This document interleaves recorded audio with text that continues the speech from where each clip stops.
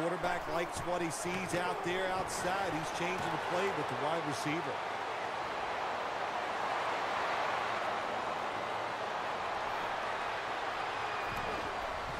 The blowout